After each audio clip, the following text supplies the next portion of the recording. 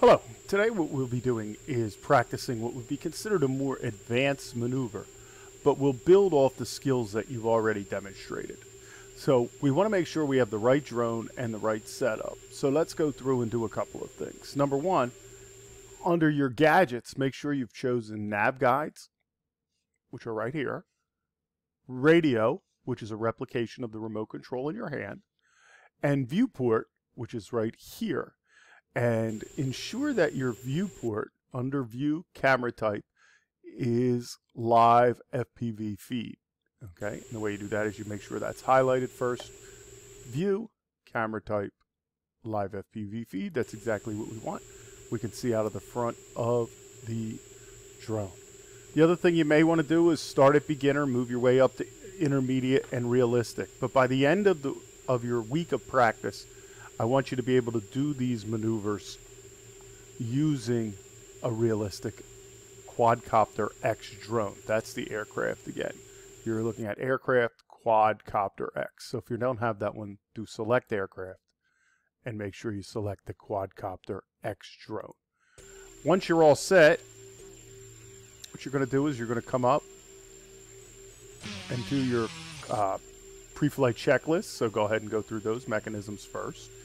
Uh, you're going to say them out loud as you're taping your video. Then you're going to do your control check. Come up to about four feet. So once you hit four feet, hover.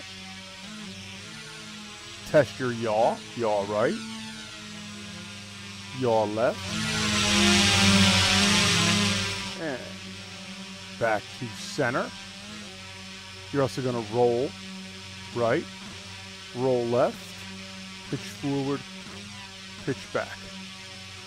All right, now I want you to come down to this angle and look for that yellow flag. You'll see it there. And you'll notice down at, if you roll all the way to the right, there's another yellow flag. So what you're going to practice is taking your drone up and around the flag like this, back and around, through, up, to the flag, go over the flag, back and around, and then again. Up, past the flag, over to the flag, and start slow. Don't go as fast as I'm going here. But you want to keep that camera so the live FPV feed is facing out towards the billboard at all times. And what you're going to do is you're going to do a series of figure eights. Now, I want you to start slow. I want you to increase in speed and accuracy each time. So you're going to go very slow. And what you're going to do is you're going to videotape yourself doing your pre flight checklist, doing your cross check, going out and positioning yourself, and then doing 10 figure eights exactly the way I was doing them there. Okay, try to make it, get your eights to be as perfect as you can. Start on beginner mode, move your way to intermediate mode, then move your way to realistic.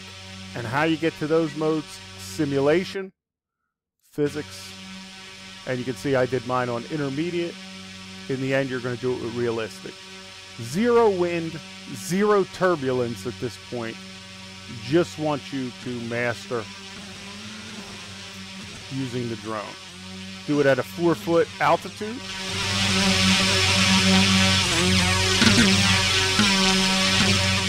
And then once you've completed, remember at the end of your video to come up over the H. Nicely center yourself and have a successful landing. That's it for this week in terms of your simulation practice. Figure eights are a little harder than they seem, and remember, at some point in your coursework in Warren County Community College, you will use this skill set and the ones we teach throughout this simulation to achieve your AUVSI top certification, especially if you want the flight certifications like level two.